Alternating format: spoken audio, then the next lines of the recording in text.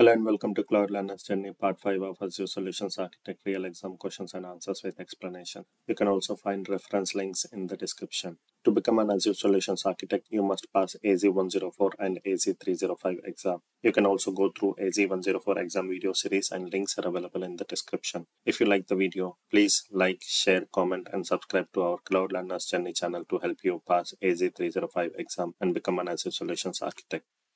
Question number one. You need to deploy resources to host a stateless web app in an Azure subscription. The solution must meet the following requirements. First requirement, provide access to the full .NET framework. Second requirement, provide redundancy if an Azure region fails. Third requirement, grant administrators access to an operating system to install custom application dependencies. Here the solution is you deploy an Azure virtual machine scale set that uses auto scaling. Does this meet the goal? And the options are A, yes, B, no. And the correct option is B, no. You should deploy two Azure virtual machines to Azure regions and you create a traffic manager profile.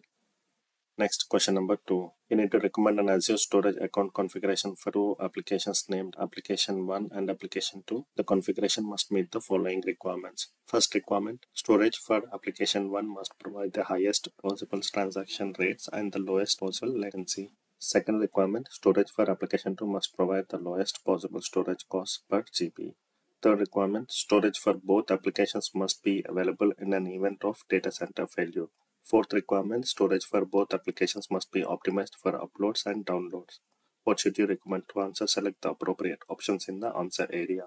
Answer area for application 1 options are blob storage with standard performance, hot access tier and read access GRNS storage replication. Second option, block blob storage with premium performance and zone redundant storage replication. Third option, general purpose V1 with premium performance and locally redundant storage replication. Fourth option, general purpose V2 with standard performance, hot access tier, and locally redundant storage replication. And the correct option is block blob storage with premium performance and zone redundant storage replication. Application 1 requires high transaction rates and the lowest possible latency. We need to use premium, not standard. For application 2, options are blob storage with standard performance, cool access tier, and zone redundant storage replication. Second option, block blob storage with premium performance and zone redundant storage replication. Third option, general purpose V1 with standard performance and read access, zero redundant storage replication. Fourth option, general purpose V2 standard performance, cool access tier, and read access geo-redundant storage replication. And the correct option is general purpose V2 with standard performance, cool access tier, and read access geo-redundant storage replication. General Purpose V2 provides access to the latest Azure storage features, including cool and archive storage with pricing optimized for the lowest GB storage prices. These accounts provide access to block blobs, page blobs, files, and queues, recommended for most scenarios using Azure storage. Next, question number three. You have an on-premises app named App1. Customer uses App1 to manage digital images. You plan to migrate App1 to Azure. You need to recommend a data storage solution for App1. The solution must meet the following image storage requirements. First requirement, encrypt images at rest. Second requirement, allow files up to 50 MB.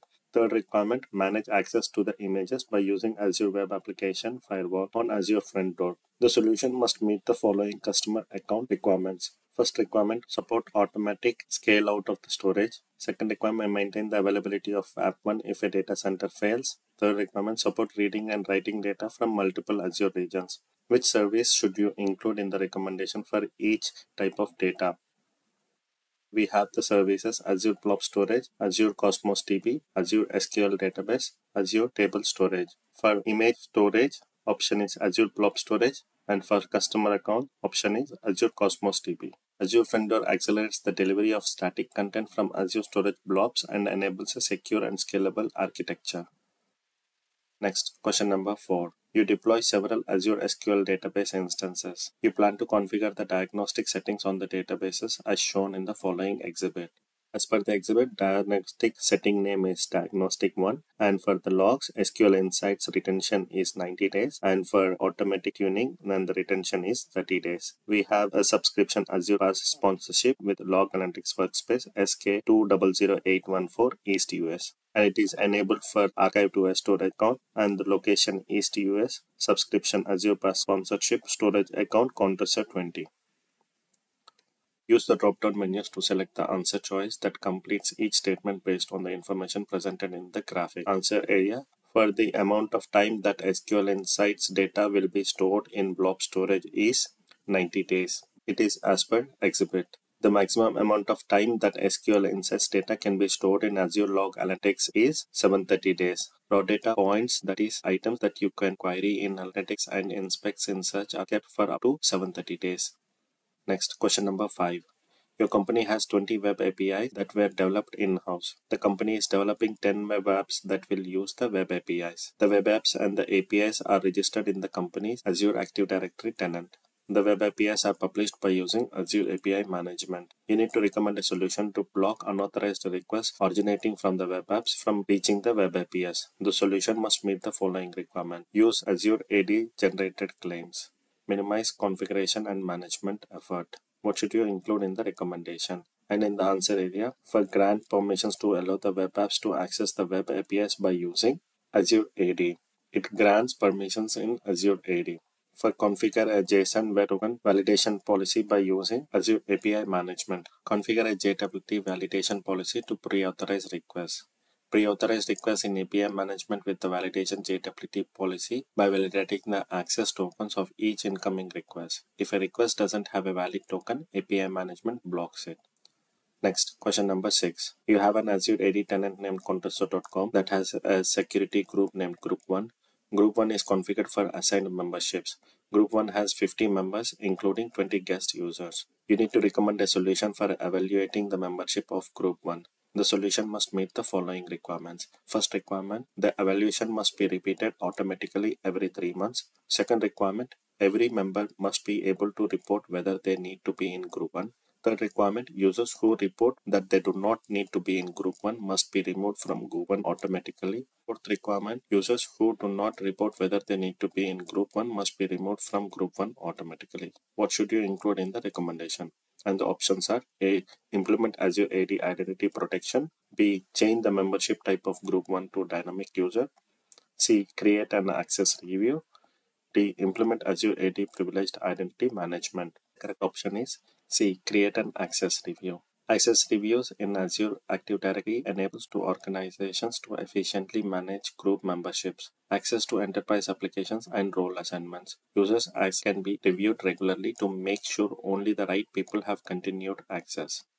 Next, question number seven. You are designing a data analytics solution that will use Azure Synapse and Azure Data Lake Storage Gen 2. You need to recommend Azure Synapse pools to meet the following requirements. First requirement, ingest data from data lake storage into hash distributed tables. Second requirement, implement query and update data in Delta Lake. What should you recommend for each requirement? Answer area for ingest data from data lake storage into hash distributed tables. And the option is dedicated SQL pool. Dedicated SQL pool is used to minimize data movement during queries, which improves query performance. Second answer area, implement query and update data in Delta Lake is a serverless SQL pool. A serverless SQL pool is a distributed data processing system built for large-scale data and computational functions. Serverless SQL pool enables you to analyze your big data in seconds to minutes, depending on the workloads. Next, question number 8. You plan to import data from your on-premises environments to Azure. The data is shown in the following table. We have columns on-premise source, Azure target. The Microsoft SQL Server 2012 database and the Azure target is an Azure SQL database. A table in Microsoft SQL Server 2014 database with Azure target and Azure Cosmos DB account that uses the SQL API. What should you recommend using to migrate the data?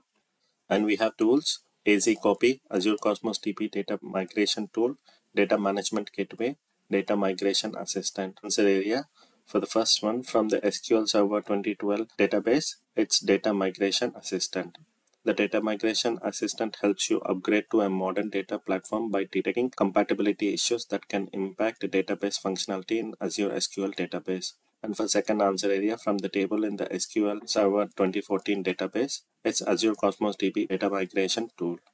Azure Cosmos DB data migration tool can use to migrate SQL Server database table to Azure Cosmos. Next question number 9. You are building an Azure web app that will store the personally identifiable information of employees. You need to recommend an Azure SQL database solution for the web app. The solution must meet the following requirement. First requirement, maintain availability in the event of a single data center outage. Second requirement, support the encryption of specific columns that contain PII. Third requirement, automatically scale up during payroll operations. Fourth requirement, minimize cost.